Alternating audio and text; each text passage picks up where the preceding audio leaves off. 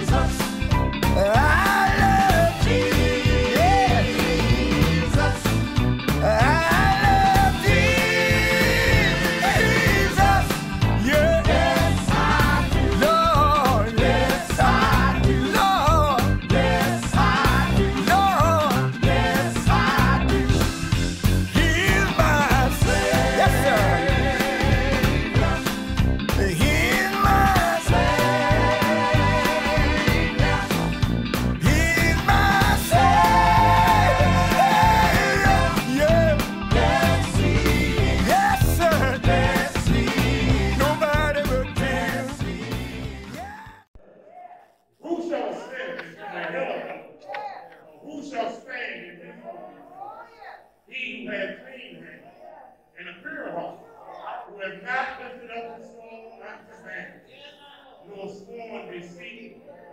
He shall receive the blessing of you and righteousness from the God of his salvation. Lift up your head, O ye gates, and be lifted up the everlasting, and the King of glory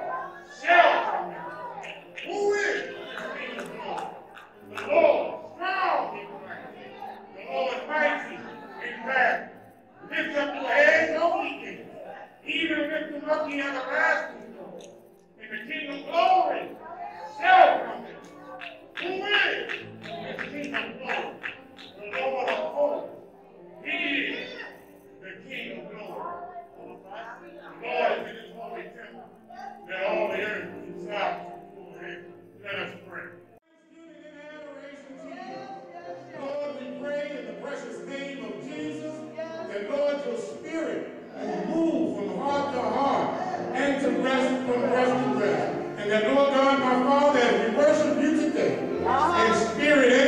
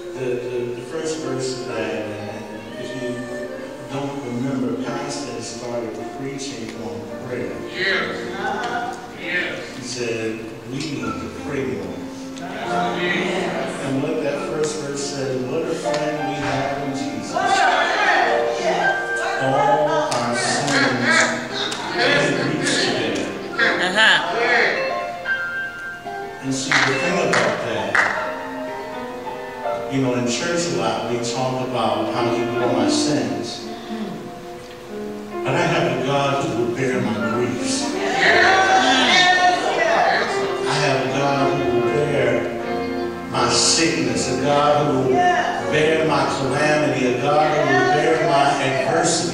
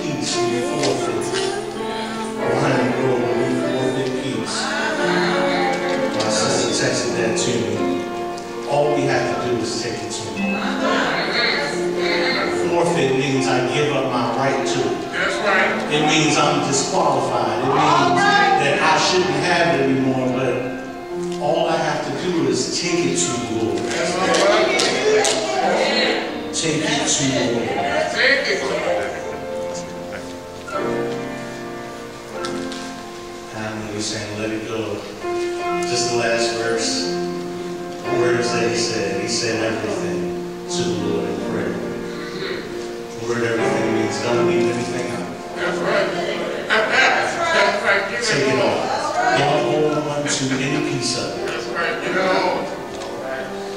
Pray with me, Father. We are grateful that you are our God. We are grateful that we belong to you. We are grateful that you hear our humble cries, our feeble prayers, that you meet us right where we are. Thank you, Lord, that it doesn't matter the day, the time of the day or night, but we can always call on the name of Jesus.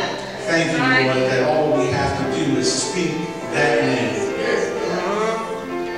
Lord, thank you, Lord, for the promise that we have through your Son, Jesus Christ. And now, Lord, you know the weakness of your servant. You know uh, all of my inadequacies. We pray in the name of Jesus that uh, you would help me, God, that I would step down, Lord. As always, you are the only teacher and preacher. Speak your word to your people. And God, that as a result of your voice, Lord, that we would all walk away better, that we would walk away different, that we would be ready to do your will. We pray it in Jesus' name.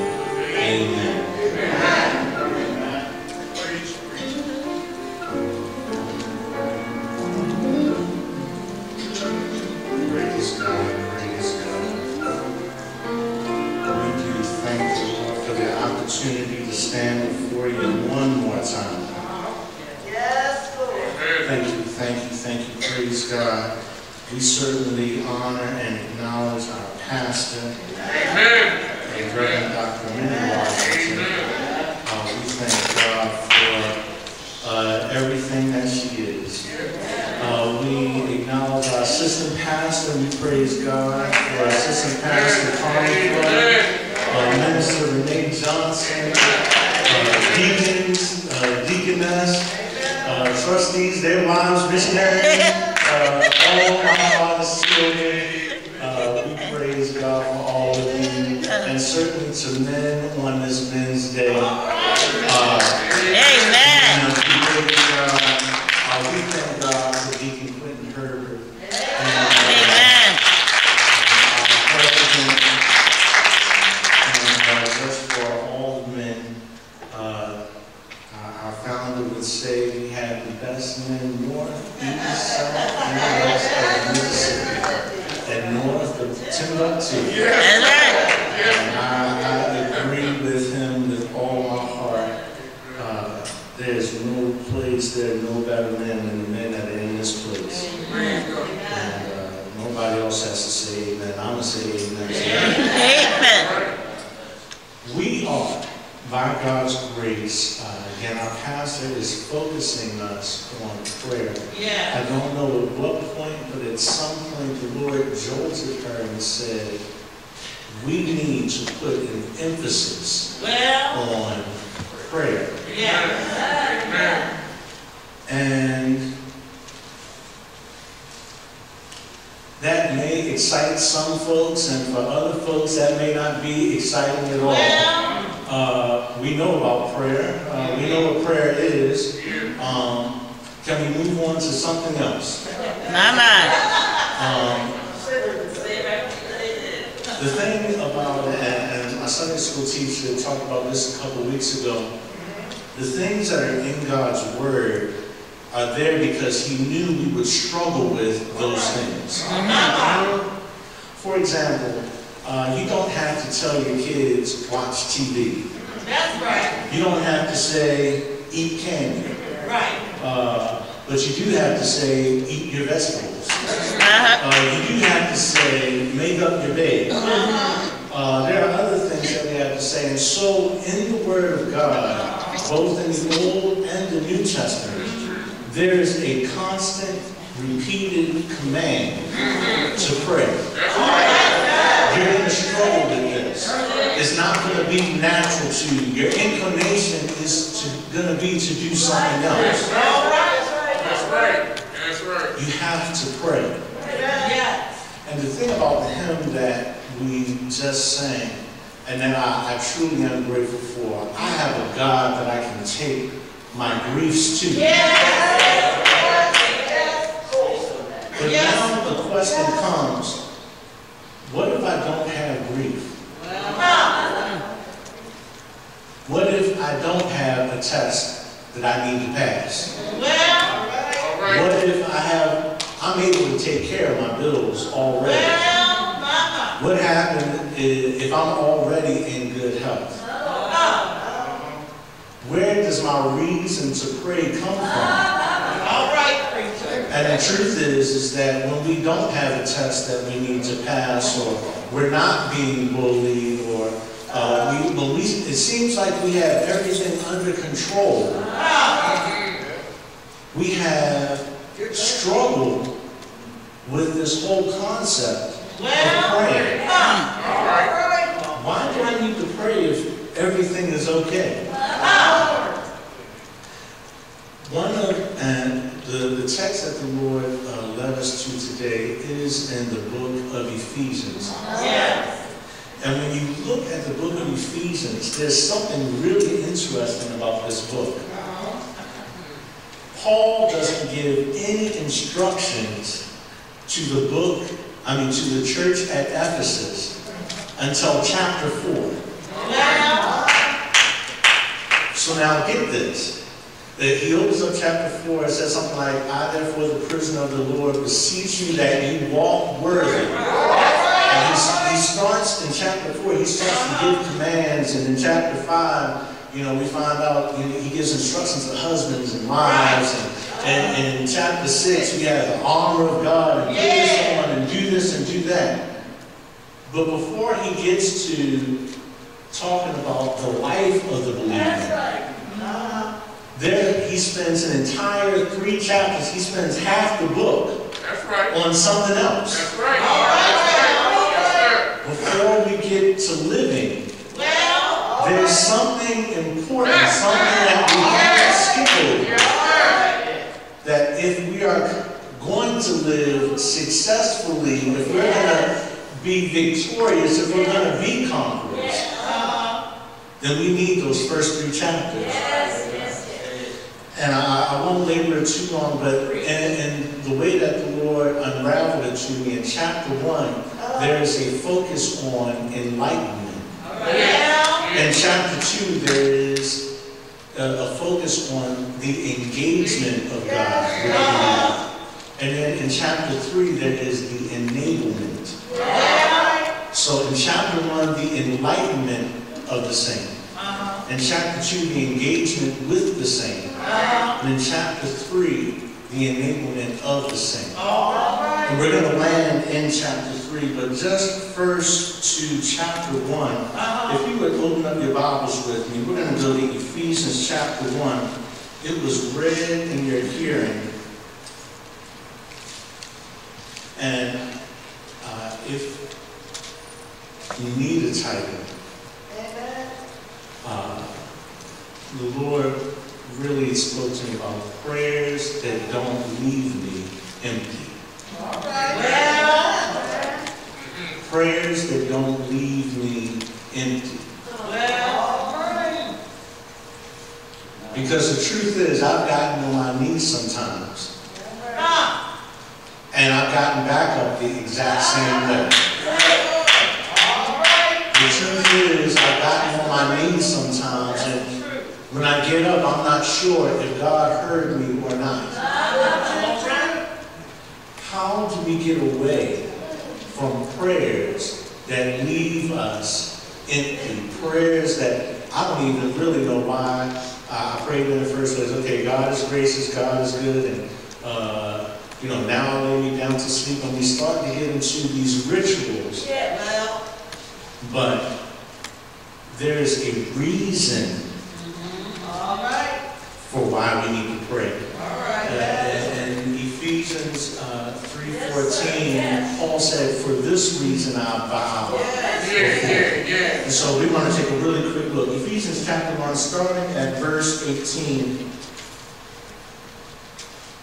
Well, we could back up. In 15 it said, After I heard of your faith in the Lord Jesus and love unto all the saints, I cease not to give thanks for you, making mention of you in my prayers.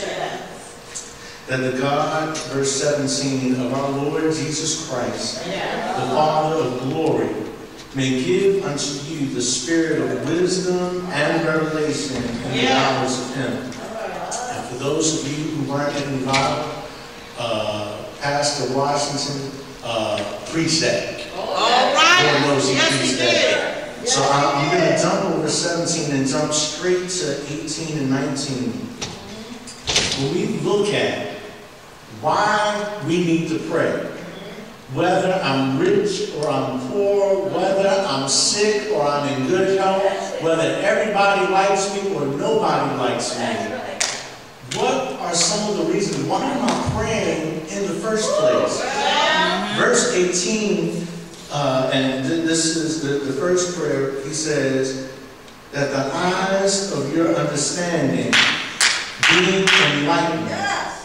Here it is, that ye may know what is the hope of his calling, and what the riches of the glory of his inheritance in the saints, and what is the exceeding greatness of his power to us who believe, according to the working of his mighty power. So I know that was a mouthful, so let's say it again. Why should we pray? Number one, we should pray because of hope. We should pray because of hope. Jeremiah in one place says, This I will call to my mind, therefore I have hope. What kind of hope is it? One scripture called it a better hope. One scripture called it a lively hope. But what exactly is this hope? Now, one, one the scripture described this hope as the anchor of our soul. What is this hope? Why is hope so important? Why should I be excited about it? It is the hope of his call. Now you gotta hear that. It is hope that comes because of his call. It is hope that comes because God spoke. Now that's what Paul means. If my child is down the street and I call their name, Catherine, Catherine, it is the hope. It means that God is speaking, but it's not just that God is speaking, it's that God is speaking to me. And it's not just that God is speaking to me, but it's that He's calling me by name. And the thing is that it's not just that He's calling me by name, it's, it's not a command, it's an invitation. He's calling me to come to Himself. Moses, Moses, come over here. Samuel, Samuel, stop laying down. Get Jeremiah, come. He it is a call. It is an invitation. It's, I can pray because I have hope. It is a, a hope that I, I didn't have before, but I have it now because God has spoken my name. Well, what really is wrapped up in that? Well, because He's called my name, what has He called me to? He's called me to salvation. He said, Ralph, here, come here. Why am I calling you? I'm calling you because I want to save you. Deacon Billy, Billy, come here. Why are you calling me, Lord? I'm calling you because I want to deliver you. Uh, uh, Paul, come on. Paul, what are you doing? Well, I, I'm calling you because I want to use you. Why should I pray? I should pray because God has called my name. Yes. And that gives me hope. He didn't have to call my name. That's right. Amen. I should pray because of the hope of his calling, the hope eternal life. Yes, But then not only that, what, what does it say next? That you may know not only what the hope of his calling and what the riches of the glory of his inheritance. Yes, sir. Yes, sir. So first I could pray because I had hope. But then I can also pray because I have help. The text says that God is rich. Yes. How, how rich is God? You know, if we had to think about how rich Oprah Winfrey was, how rich Bill Gates is, or uh, how rich the, the guy who owns Amazon is, or Walmart, all those guys, the riches of God exceed the riches of every man you know or could ever think of.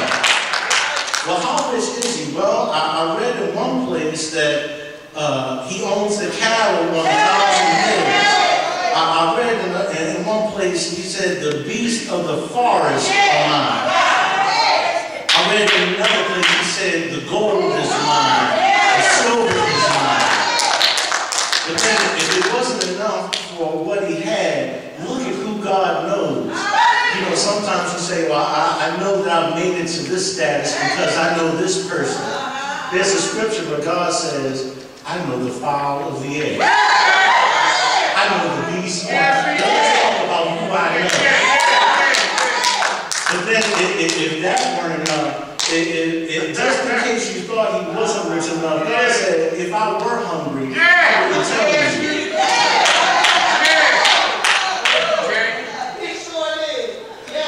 David said, the earth is the Lord.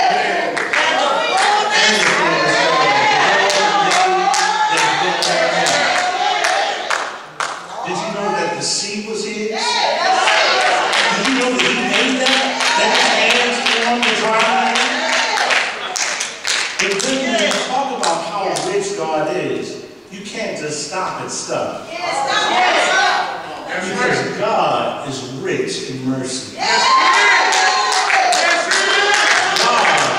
is rich in grace. God is rich in love. You don't know anybody as rich as our God. Yes, indeed. Yeah. Yeah.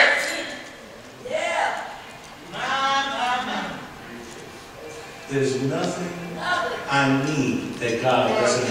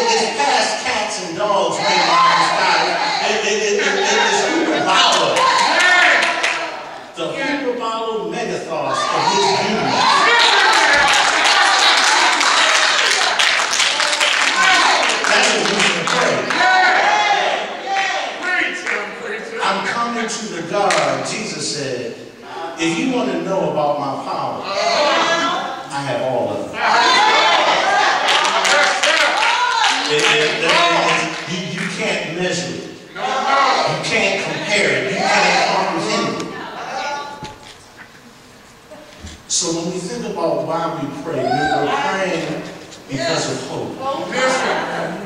And see, the, the, the, the thing about enlightenment, here's the thing. It means that before enlightenment, you're in the dark. It means that your eyes were closed. So wait a minute. Maybe we haven't been praying because our eyes have been closed to hope. Paul said, here's my prayer. I'm praying that the eyes of your understanding being enlightened. I want your eyes to open up. We have hope. I want your eyes to open up. We have help. God is rich. Needless pain. You don't have to bear that. You don't have to walk around without peace. You can have peace. And don't worry, you have the highest. That means it doesn't matter what the doctor said. It doesn't matter what the judge said. It doesn't matter what the government said. It doesn't matter what the teacher said, what the geologist, what the, the mathematician, the, the paradigm, you name whatever it is, there's somebody higher than everybody you know. Yes, indeed. That's the reason to pray. That we, we can start to get excited about prayer. We- But then, and he moves from enlightenment to engagement.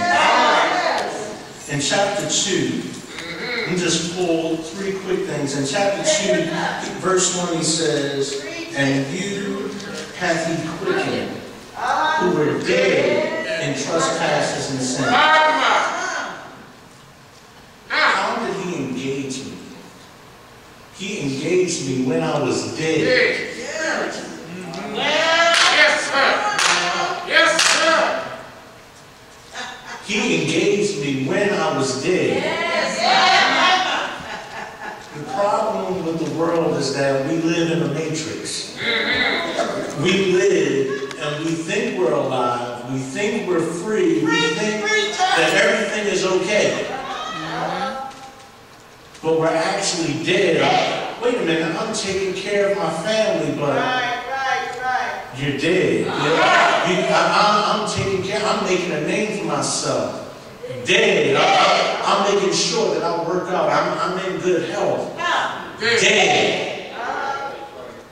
Everybody likes me. You, you should see how many followers I have. Dead. But the thing is that, see, once my eyes start to open up, uh-huh. Paul says, understand this. God engaged you while you were dead. That's right. This is what he did. He made you alive.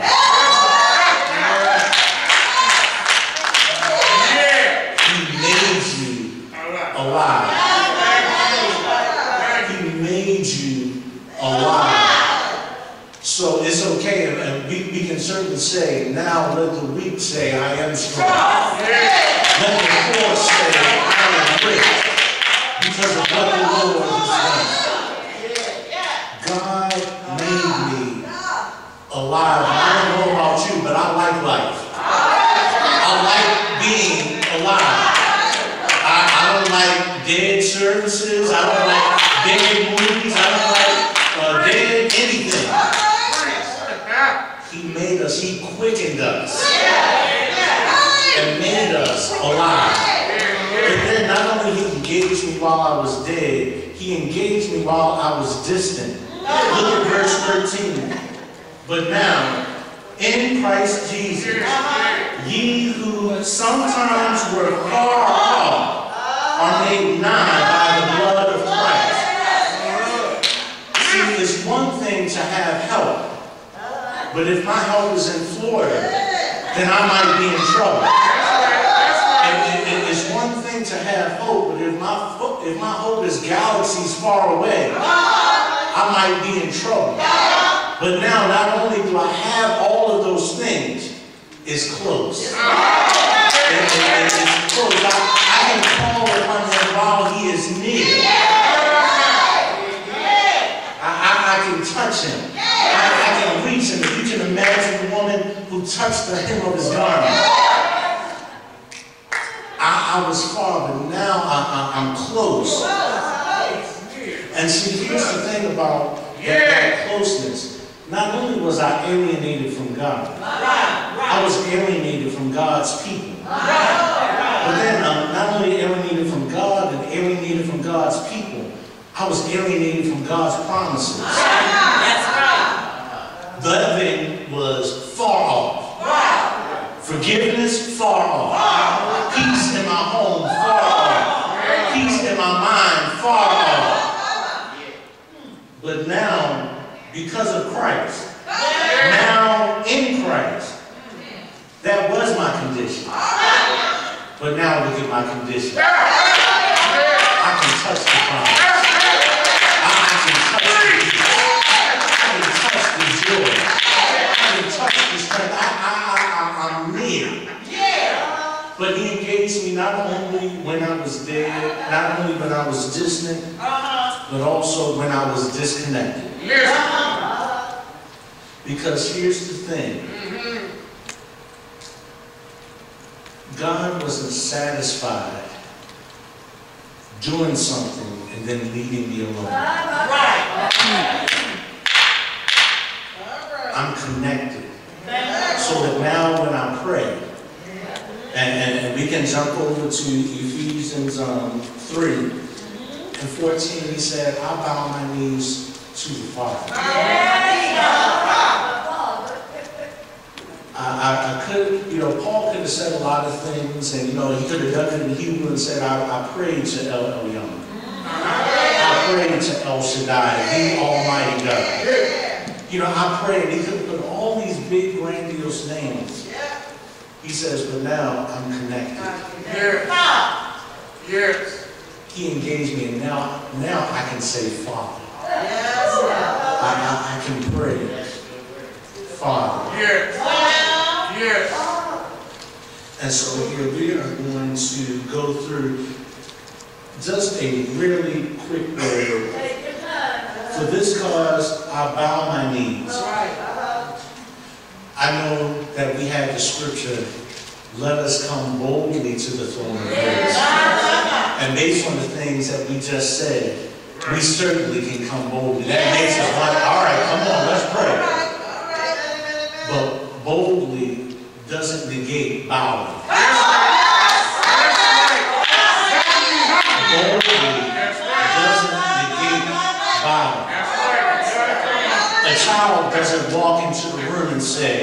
Give me this. A child has to come. They can come. They can ask for that piece of candy or that piece of money or that toy, but they have to come bowing. They have to come with humility. And, and, in 2 Corinthians 7.14, if my people which are called by my name would humble themselves and pray. If we don't humble ourselves, there's no need to pray. There's no need to pray if we're not coming, bowing. Paul said, I bow my knees unto the Father. Yes, yes, yes. And, and I love everything in this passage is so connected. The Father of our Lord, Jesus Christ. And of whom the whole family in heaven and earth is named, that he would grant you. And, and here now we're getting to the, the, the, the change, uh, the, the model that we want to look at for prayer.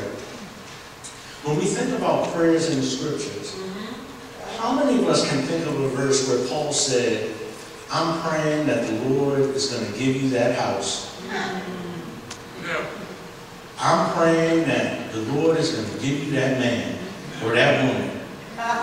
I'm praying that God is going to let you pass that test. All right. Mama. All right. Hmm. Now, and certainly, understand. I mean, there, there are lots of things to understand. The people he was writing to, they were people just like us. They were, they they were getting married. They did go to school. They did have bills to pay. They did have, there are all these things that, and certainly we do want to take everything. But especially in our culture, we focus so much on Yeah. the outer man, on the outside, that we forget the things of chapter one and chapter two. We, we pray so much about all those other things and we forget the reason why Christ died. Mm. And so when we look, that he would grant you according to the riches of his glory. So just, uh, and and certainly our, our revival talked about that, according to the riches of his glory. So before we talked about the riches of his love, but here when it talks about his glory, the word uh, behind that doxa means his weight. Out of just who he is. Yeah. Not according to what he owns. Not according to who he knows. But according to who he is. The abundance, the overflow, the outpouring of who he is. To be strengthened with might by his spirit in the inner man. So he says the first thing that he prays for is strength. Uh-huh. The word strengthen, it, it means to empower. Yes. When was the last time you prayed for power? Well. Hmm. When was the last time you prayed for strength? Strengthen, what that means is that there's strength I don't have yet. But it also means that there is strength that I can have. He says, I pray that he will strengthen it. You may not have the power right now,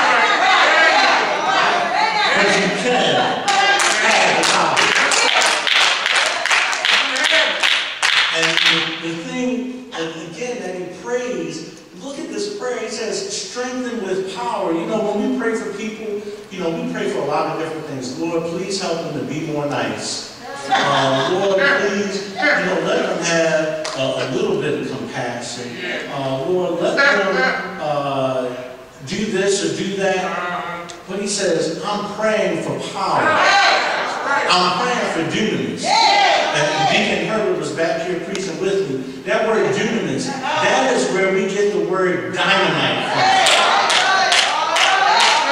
See, when you and I talk about strength, we think about going to the gym and we think about muscles. Uh-huh.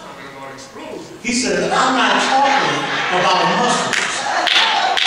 I'm praying for an explosion. I, am praying for dynamite. God, I don't want you to just pump their muscles. God, I, I want a dynamite in my child, a dynamite in my wife, a dynamite in my boss, a dynamite explosion in me. Because here's the thing about dynamite. Dynamite opens things that seem to be unopenable.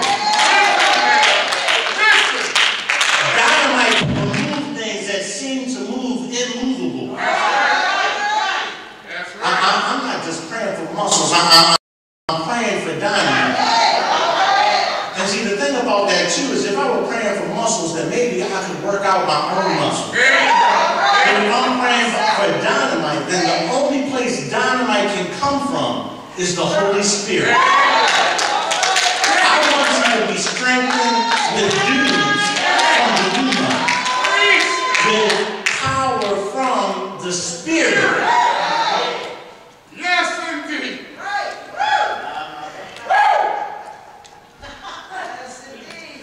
Yes, indeed. And then the last thing, he, in, in this part, he says it's, it's not just but he talks about power in the inner man. That's where the power needs to be. That's right. Yes. That's right. Here's the truth. Paul said in another place, my outward man can perish. But here's the mystery. While my outward man is perishing, my inward man can be renewed every day. So while I'm struggling with the disease, I actually am not struggling on the inside. So that if God spares me, it's okay. But King, if you need to, go ahead and throw me in the fire. Uh-huh. That you, it, it is power in the enemy man that you may threaten my prayer life, but you know what? I'm going to pray three times a day anyway. Give me to the line. That's right. Yeah. He said, this, this, this is what I'm, I'm praying. Are, are we praying like Paul? Are we praying for strength in the inner man by the Spirit? And when, when I was first looking at this text, I honestly was looking at it like a bulleted list. Um, in other words, all right, I need this, and this, and this, and this. But when you look at the Greek, it is a progression. And the reason why that's important is because you can't get the last thing, you can't check that off if you skip over the That's first right. thing. That's right. Uh-huh. That's right. A lot of us would like to just jump to Ephesians chapters 4 through 6 and just tell people what they need to do. But there is an order. And, look at the order in this text. He says, My first prayer is for strength by the Spirit. And the second thing that he says is that if you have strength in the Spirit, uh-huh. the outcome of that is the staying of the Son. Look at what he says. Where is it? That Christ, verse 17, may dwell in your hearts by faith.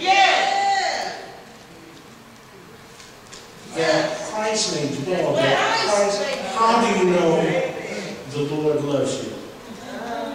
Because he stays with you. There are plenty of people that I don't live with. That's right. I'll do something for you, but I'm not moving in with you. Tell the truth. Shame the devil. that Christ may dwell. So wait a minute. I've been wanting Christ to dwell, but I wasn't being strengthened by the Spirit. We need the strength of the Spirit. How do we get the strength of the Spirit? I'm glad you asked. We have to read the Word of God. And we have to do the Word of God. If we read the Word and do the Word, that's how the Spirit gives us strength. If we go to the gym and we have a trainer and the trainer says, do this many reps, the trainer is there, the equipment is there. But until we actually do what the trainer says, we're not going to get the strength that the trainer wants us to have. We have to be strengthened by the Spirit, obedient to the Spirit. And he says, if you're listening to my spirit, then that's the place I want to be. He says, I'm praying that Christ will dwell in your hearts. And we're going to keep going. He says, that ye being rooted and grounded in love. So not only is the Spirit going strength, strengthen, not only is the Son going to stay, but now I am steadfast in love. If I had to ask what you're rooted in this morning, what are the grounds for what you're doing? And see, the thing is, is that if I'm rooted in this now, it means that some other stuff had to be uprooted. It means my selfishness had to be uprooted. My meanness had to be uprooted. My, my self-centeredness had to be uprooted. He says, being rooted and grounded in love. Verse 18, may be able to comprehend with all saints what is the breadth and length and depth and height. He said this, I, his prayer keeps going, he says, if these things happen, I, I want you, my prayer is that you would understand something. I, I, I want you to understand God's love. I want you to know how big it is, how, how deep it is. And there was a verse Job chapter 11, verse 7. Canst thou by searching find out God? Canst thou find out the Almighty unto perfection? Li- Listen, and this is Zophar speaking, but listen what he says, verse 8. It is as high as heaven. What canst thou do? It is deeper than hell.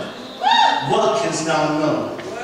The measure thereof is longer than the earth and broader than the sea. In other words, when, he says it is, is deeper than hell, it doesn't matter how low you go. I want you to know that it doesn't matter the depths of your discouragement, the depths of your despair, it doesn't matter the depths of your spent, of your sin. God can reach you right where you are. But it's not just deep, it's high. Because what happens is, that not only does it reach you where you are, but it lifts you up to where he is. So that the things that you didn't have, now you have in him. But it's not just high, not only does he elevate, it's long. What is it longer than? In that passage it says it's, it's longer than the earth. Well, in other words, it's from everlasting to everlasting. But wait, a- wait a minute, how long is that? What, what that means is that you cannot stop the love of God.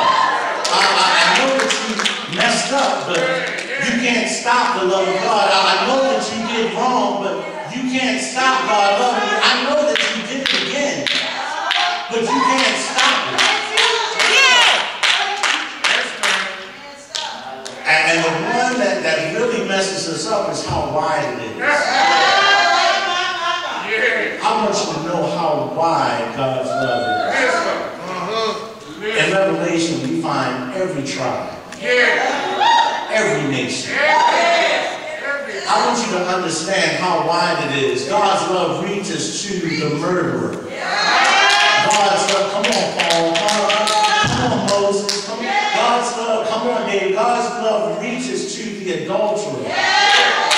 It reaches to the sexual offender. It reaches to the thief. It reaches to the liar. It reaches to the backbiter. It reaches to the gossiper it reaches to the hater. It reaches to the, the, the stingy. It, it just reaches everybody.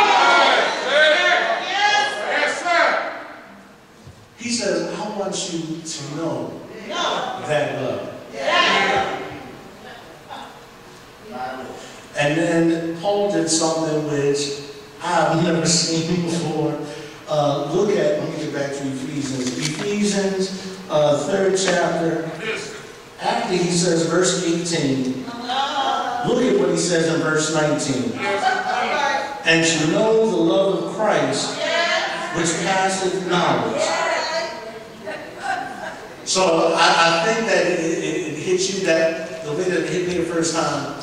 And to know the love of Christ which passes knowledge. What does that mean?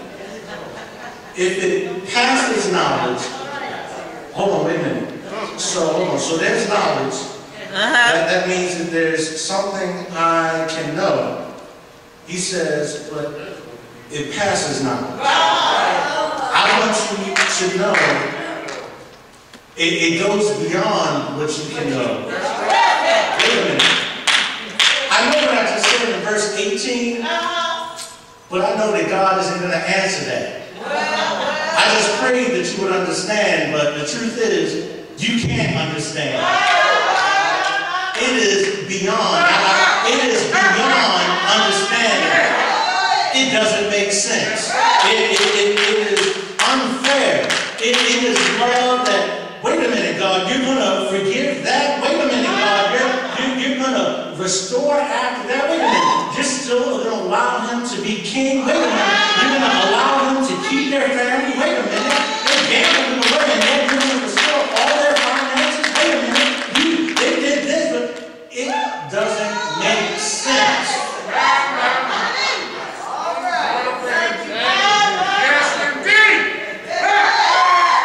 In chapter 1, his power was incomparable.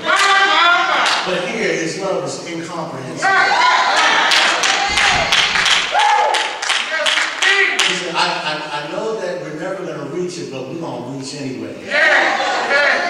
more love, more love. The love of God, how rich and pure, how measureless and strong. It shall forevermore endure the saints and angels' song. And see, here's the thing, we're at the close. When we're strengthened by the Spirit, when the Son stays, when we're steadfast in love, even though we can only understand an inkling of it. Then the end of verse 19 says, that ye may be found, I'm, I'm sorry, that ye might be filled with all the fullness of God.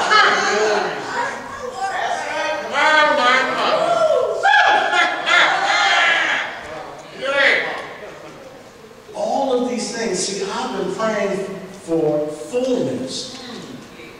But I didn't pray for the Spirit. I, I didn't pray for the strength of the Spirit. I, I wanted fullness. And, and see, think about our prayers. That's right. We prayed for fullness without being filled.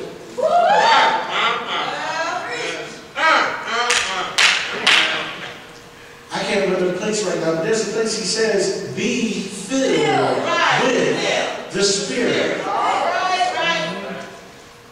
And here we have the progression that if we are strengthened by the Spirit, if the Son stays, if we are steadfast in love, because Christ brought love with him when he came to stay.